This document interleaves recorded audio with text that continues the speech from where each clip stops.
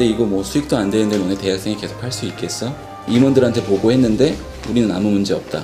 그리고 11년 동안 16년까지 5년 동안 뭐 하고 계시다가 대학생들 불편 기껏 해결해 놨더니 이제 와서 우리가 2009년에 설립이 되었고 그러니까 2015년 미팅했던 거 맞, 인정한다니까 인정하고 자, 그래서 장학재단이 뭘 뵙겠는지 뭘 도용을 했는지 다시 이- 거기부터 설명드릴까요? 네. 아, 나 그, 저는 여기서 제가 네. 끊어가고 싶은 것이 어, 관광공사는 올해 6월 저희와 또 비슷한 플랫폼을 런칭을 하겠다고 입찰 공고를 냈고요. 경쟁을 하지 않으려면 어, 들어와서 어, 용역을 하거나 아니면 이제 협력 관계로 할 수 있도록 네, 협조를 하라는 어, 얘기를 들었고 서울시의 원모 트립에서 그걸 굉장히 많이 파괴를 했어요. 정말 어마어마한 돈을 써가면서 이제 너무 홍보를 하다 보니까 전체 이제 생태계가 좀 파괴되는 측면이 있는 것 같아요. 민간 기업이기 때문에 특혜 의혹이 있어서 협력할 수가 없다라고 했습니다. 그러면 사단법인이 민간 기업입니까? 공공기관입니까? 민간 기업입니다. 그러면 어, 금감원이 1년도 채 운영도 안 하고 만들어서 1년도 채 운영도 안 해서 어, 민간 기업한테 통으로 다 넘겨준 사실은 특혜라고 볼 수밖에 없지 않느냐라는 게 제 쪽 생각이고요. 공공기관에 계신 분들도 그냥 여기서 이 자리만 모면하고 가시면 돼요.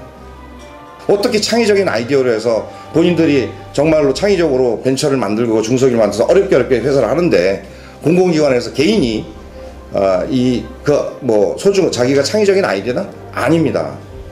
이미 민간 기업에서 하고 있는 아이디어들을 베껴서 그거하고 비슷하게 살짝 비껴나가서 이름만 바꿔서 사업을 하면 본인은 상점을 받고 업무적인 평가를 받아서 업무 수행 능력이 좋다라고 해서 상점 받고 승진하고 현재 금감원이 이 사업을 진행했을 때의 보안 수준은 제가 말씀드리지 않겠습니다. 그걸 여러분들이 들으면 깜짝 놀라실 거예요.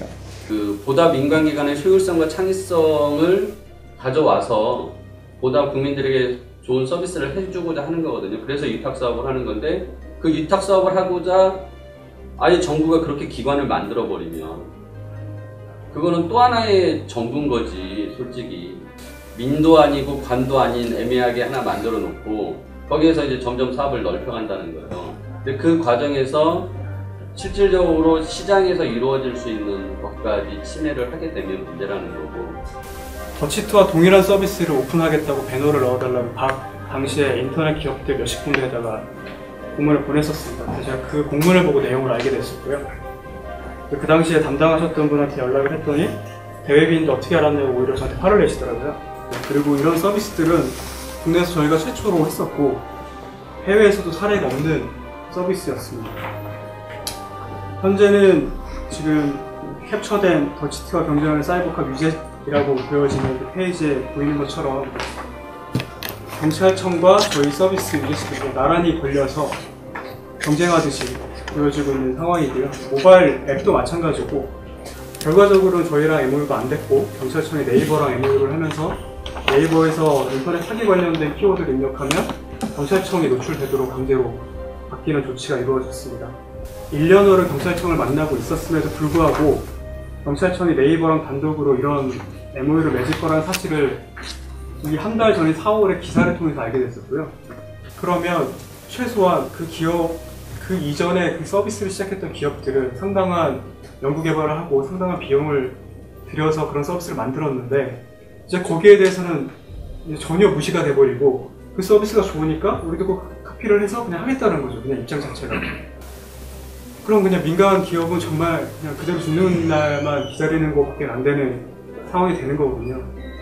그러니까 저희가 지금 경찰청이랑 해서 이런 문제가 생기면서 연구 개발을 추가로 할 수가 없어요. 뭘 해놓으면 또 베껴갈 텐데 이걸 해도 되느냐. 공익을 말씀하시잖아요. 공익을 말씀하시는 공익을 위해서 지금 하시는 것과 여기서 하는 것은 사익을 위해서 한다고 생각하시는 거죠? 아니요, 그렇지 않습니다. 똑같은 똑같은 공익을 위해서 하는 건데요. 예, 예, 맞습니다. 그러니까 지금 예, 제가 대표님한테 말씀드린 게 이거 말고 그럼 다른 거 이렇게 말씀해 주시면 도와드릴 수, 그 같이 할 수 있는 부분 하겠다. 그런 말씀까지 드렸습니다. 이거 말고. 그 공무원의 역할과 민간의 역할이 충돌이 될 때 단순한 국민의 편익이라는 어떤 목적으로 인하여 수단이 정당화될 수는 없다고 생각하거든요. 근데 지금 어떤 목적이 수단을 정당할 수 있다라는 부분의 명제가 굉장히 침해가 됐다고 저는 생각이 들기 때문에 점점 그 공공기관이 정부의 할 일과 하지 않아도 될 일에 대한 구분을 명확하게 못하고 끝없이 펼쳐나간다면은 거의 뭐 국가가 다 해도 되는 거죠. 근데 우리는 그걸 원하는 게 아니잖아요. 예. 그리고 그리고 저희 지금까지도 무료로 하고 있고 대출 받아서 힘들게 힘들게 5년 동안 끌고 오고 있습니다. 경찰청 입장에선 저희 같은 작은 기업과는 MOU를 맺는 것이 체면이 서지 않기 때문에 할 수 없다. 결국은 어, 정당에는 흐지부지 아무 얘기도 그 다음에는 안- 아무 얘기도 안 나왔습니다. 그냥 여기서 이 자리만 모면하고 가시면 돼요. 진짜 이 내막을 알, 알면 화가 나지 않을 수가 없는데